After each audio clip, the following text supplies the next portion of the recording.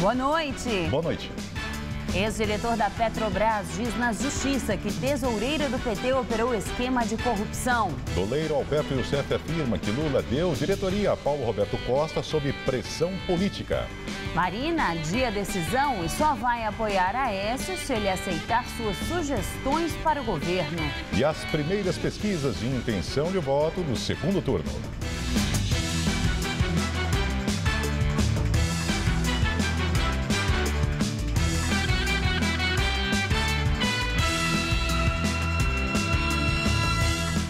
Em depoimento à Justiça Federal em Curitiba, ex-diretor de abastecimento da Petrobras, Paulo Roberto Costa, revela que dinheiro dos contratos de produção, gás e energia abasteciam o PT.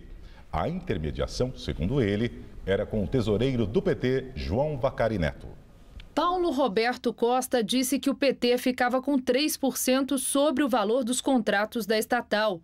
Ouça trechos do depoimento. A pedido dos seus advogados, Costa não foi filmado. Em relação à diretoria de serviços, né, era, todo, todos sabiam que tinha um percentual desses contratos da área de, de abastecimento, dos 3%, 2% eram para atender ao PT, hum. através da diretoria de serviços.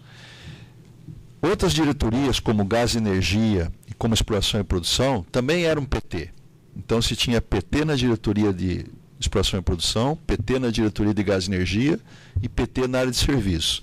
Então o comentário que pautava lá dentro da companhia é que, nesse caso, os 3% ficavam diretamente para diretamente para o PT. Além do PT, segundo Costa, o PMDB e o PP também faziam parte do esquema. Ele declarou que parte do dinheiro abasteceu campanhas eleitorais em 2010. A diretoria internacional tinha indicação do PMDB. Então tinha também recursos que eram repassados para o PMDB. Questionado pelo juiz Sérgio Moro se recebia parte desses valores da corrupção, Costa confessou. No PP, segundo ele, o intermediário era José Janene, ex-deputado federal morto em setembro de 2010. Que normalmente é, em, valores médios acontecia. Do 1% que era para o PP, em média, obviamente que dependendo do contrato podia ser um pouco mais, um pouco menos 60% ia para o partido, uhum. né? 20% era para despesas, às vezes nota fiscal, despesa para envio, etc, etc. São todos valores médios, pode ter alteração nesses valores. E 20% restante eh, era repassado 70% para mim e 30% para o Janene ou o Alberto Youssef. E como é que o senhor recebia a sua parcela? Eu recebia em espécie, normalmente na minha casa, ou no shopping, ou no escritório, depois que eu abri a, a companhia minha lá de consultoria. Como que o senhor, uh, quem entregava esses valores para o senhor? Normalmente é, o, o Alberto Youssef ou o Janene. Sobre a propina para o PMDB, Costa disse ainda que recebeu 500 mil reais em dinheiro vivo das mãos do presidente da Transpetro, Sérgio Machado, que seria apadrinhado por Renan Calheiros, presidente do Senado. A Transpetro tem alguns, alguns casos de repasse para, para, para políticos, sim. Recebi, se eu não me engano, foram 500 mil reais. Quem pagou o senhor? O presidente da Transpetro, o Sérgio Machado. Funcionário de carreira da Petrobras, Paulo Roberto Costa tornou-se diretor em 2004, no governo Lula. Saiu em 2012 por falta de afinidade, segundo a presidente Dilma Rousseff. Preso desde março, passou para a prisão domiciliar no início deste mês, monitorado com tornozeleira eletrônica. Ele fez acordo de delação premiada com a Justiça na expectativa de redução da pena. E também em depoimento à Justiça, o doleiro Alberto Youssef afirmou que o presidente Lula empossou Paulo Roberto Costa na Petrobras em 2004 por pressão de políticos de partidos acusados de participar das fraudes na empresa. Que Paulo Roberto Costa fosse, é, assumisse a cadeira de diretor da diretoria de abastecimento, é, esses agentes políticos trancar a pauta no Congresso durante 90 dias. Na época, o presidente Luiz Inácio Lula da Silva ficou louco, teve que ceder e, e, e realmente empossar o Paulo Roberto Costa na diretoria de abastecimento. O doleiro disse que eram feitas reuniões com atas sobre o esquema de Caixa 2 que irrigou campanhas de 2010, incluindo o PT, o PMDB e o PP. O agente político se reunia praticamente é, quase todos os dias comigo. É, depois, semanalmente, Paulo Roberto a cada 15 dias.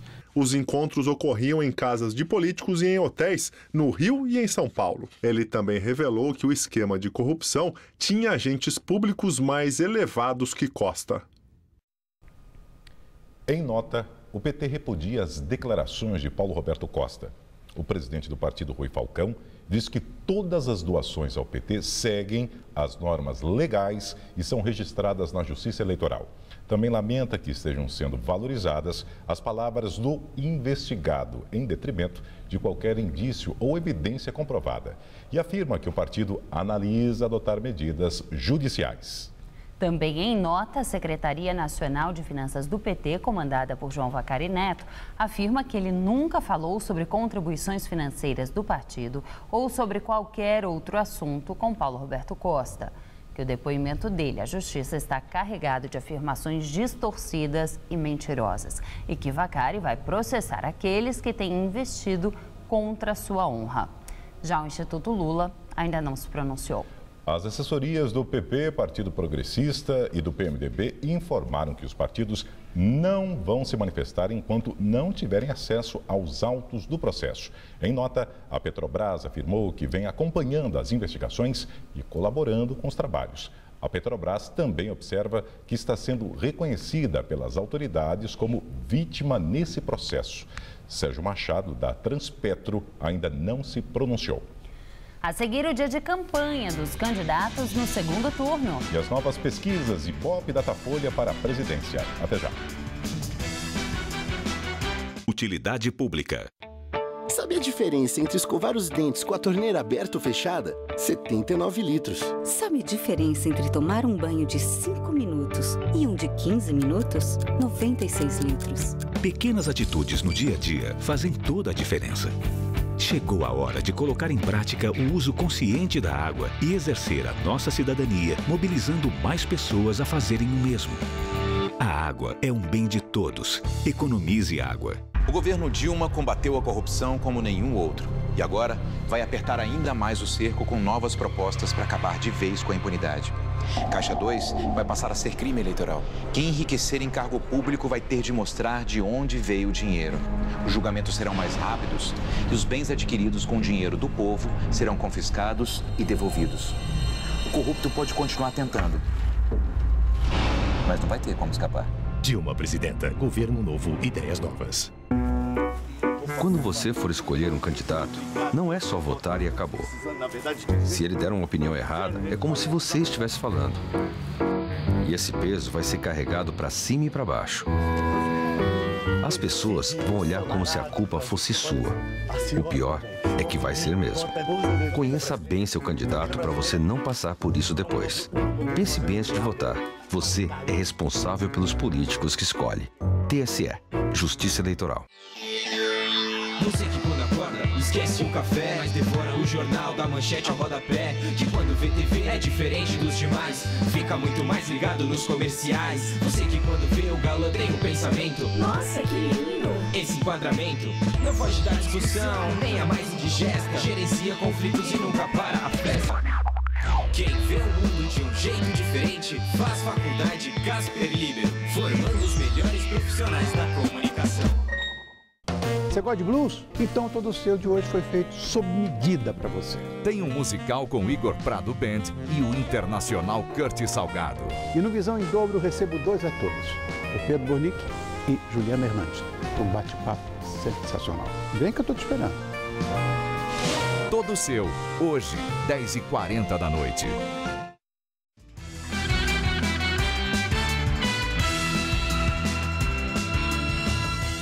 Eleições 2014.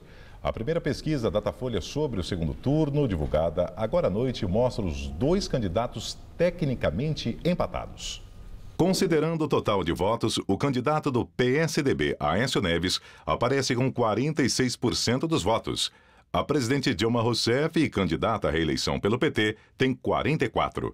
Brancos e nulos somam 4%. 6% dos entrevistados não souberam responder. Dentre os votos válidos, descontados brancos e indecisos, Aécio aparece com 51% das intenções. Já Dilma tem 49%. Com a margem de erro de dois pontos percentuais, os dois candidatos estão tecnicamente empatados. O Ibope também divulgou pesquisa com as intenções de voto. O levantamento mostra um cenário quase idêntico ao do Datafolha. Do total de intenções de votos, segundo o Ibope, Aécio tem 46%, Dilma aparece com 44%, brancos e nulos somam 6% e os outros 4% não souberam opinar. Levando em consideração somente os votos válidos, sem brancos, nulos ou os que não sabem, Dilma aparece empatada com Aécio na margem de erro de dois pontos percentuais. Ele com 51% das intenções de voto e ela com 49%. Na Bahia, a candidata à reeleição de Rousseff do PT afirma ser ridículo diferenciar votos do Nordeste e do Sudeste. Dilma falou em Salvador em resposta ao ex-presidente Fernando Henrique Cardoso. Numa entrevista ao portal UOL, ele comentou que o PT cresceu no país com o voto dos menos informados. No Nordeste, Dilma teve quatro vezes o número de votos de Aécio Neves. É uma visão absolutamente preconceituosa e elitista o que estão fazendo, dizendo que os meus votos são dos ignorantes e os ilustrados são deles. É um desrespeito com a população. Mas como eles não andam no meio do povo, como eles não dão importância ao povo, eles querem desqualificar o povo brasileiro. Isso, de fato, é destilar ódio mal resolvido. Marina Silva, ex-candidata à presidência pelo PSB, não compareceu hoje ao encontro em Brasília dos partidos de sua coligação. Esperava-se que, após a reunião, ela definisse sua posição no segundo turno. Ela enviou uma carta pedindo aos partidos que não participem do que chama de guerra suja da destruição e que não abram mão do debate de alto nível. Marina condiciona seu apoio a Aécio Neves a uma série de propostas de governo que devem ser entregues a ele amanhã. As principais são as seguintes: não alterar a maioridade penal, destinar 10% do PIB para a educação, investir em escolas de tempo integral, fim da reeleição com mandato de cinco anos. O candidato do PSDB à presidência, Aécio Neves, concedeu uma coletiva de imprensa no final da tarde no Rio de Janeiro. Ele disse que as declarações do ex-diretor da Petrobras, Paulo Roberto Costa, evidenciam ação institucionalizada na Petrobras. Aécio prometeu é, desmontar o aparelhamento da máquina pública caso seja eleito. Hoje, o vazamento de uma delação uh, premiada de alguém que integrava esse esquema que a Polícia Federal chama de organização criminosa no seio da Petrobras, uh, aponta na direção de algo institucionalizado e que envolve diretamente o tesoureiro do partido político que governa o Brasil há 12 anos. E agora vamos ao comentário de política com José Neumann e Pinto. Eu pessoalmente posso estar enganado, mas acredito que não haja nenhum eleitor que votou na Marina no primeiro turno que esteja esperando a definição dela para decidir, ou agora, da hora de votar, em quem vai votar no segundo. De qualquer maneira, também não seria estúpido de achar que o apoio dela não é importante. Só que é importante para a democracia, é importante para o eleitor dela e para o eleitor de Dilma e de Aécio, mas, sobretudo, é importante para ela. Se a Marina mantiver essa postura de ficar à distância, a nova política contra a velha política, ela pode construir a imagem que foi é, destruindo, que se construiu no primeiro turno, de uma pessoa egocêntrica, voltada apenas para próprios interesses e as próprias ideias, incapaz do convívio democrático. Infelizmente, isso será verdadeiro, não querer participar do palanque, eu gostaria de citar um exemplo clássico, não da velha política, mas de um político que morreu velho. Leonel Brizola morreu convencido de que tinha sido roubado no primeiro turno da eleição vencida por Fernando Collor. Ele achava que ele podia enfrentar e ganhar do Collor e que preferiram mexer nos votos. Havia uma distância muito pequena dele para o Lula, porque o Lula fatalmente perderia, como perdeu, apesar de ter perdido uma votação razoavelmente apertada. Mas o Brizola subiu no palanque do Lula, abraçou o Lula, depois foi vice do Lula, numa demonstração que democracia se faz assim. A Marina pode optar pela Dilma em nome do seu passado, no PT, de colega de ministério, ou pode optar pelo Aécio, seguindo a linha que os verdadeiros herdeiros do Eduardo Campos estão seguindo, que é a linha dos que querem a mudança. Quer dizer, o Brasil hoje está dividido entre o petismo e o antipetismo. A Marina pode assumir uma posição por qualquer uma das duas e estará dando uma grande contribuição para a democracia, para esta eleição e para a própria biografia. Caso não faça, ela vai virar uma espécie de maluf ecológica de esquerda que tem ali sempre aquele contingente de votos, mas nunca chega ao poder. Ou uma Luciana Genro, de centro-direita, a Luciana Genro já disse que o eleitor do PSOL pode escolher entre o nulo, o branco ou a Dilma. A rede está propondo o nulo branco ou o Aécio, ou seja, ambas propostas ridículas e antidemocráticas. Ela podia meditar um pouco sobre isso além de pensar nas próprias conveniências. Né? É, eu volto terça-feira em Té. Todas as regiões paulistas fecharam o dia em estado de alerta para baixa umidade do ar. Vamos ver como fica o tempo amanhã com Mariana Armentano. O calor vai ser generalizado em todo o estado nessa sexta-feira e também no final de semana. Amanhã o dia terá pouquíssimas mudanças em relação a hoje. A previsão é de muito calor e a umidade deve cair ainda mais, ficando abaixo dos 20% em todo o estado. Os termômetros vão ultrapassar a marca dos 30 graus em todas as regiões e chegam até os 37 graus em Votuporanga, 32 na cidade de Franca, 34 em Ribeirão Preto e em São José do Rio Preto e 34 graus também em todas as cidades do litoral do estado. E é bom se proteger bem do sol, porque os índices de raios ultravioleta estarão em níveis extremos. Nessa madrugada, mínima de 17 e máxima tarde na casa dos 32 graus. E o calor continua no final de semana. 33 no sábado e 32 graus no domingo, ainda com muito sol, céu azul e nada de chuva. A edição das 10 do Jornal da Gazeta termina aqui. Boa noite. Fica agora com o Rony Fono todo seu. Boa noite e até amanhã. Viaje até os parques de diversões dos Estados Unidos com Hoje Tem. Logo mais, 11h30 da noite. Assista agora Todo Seu.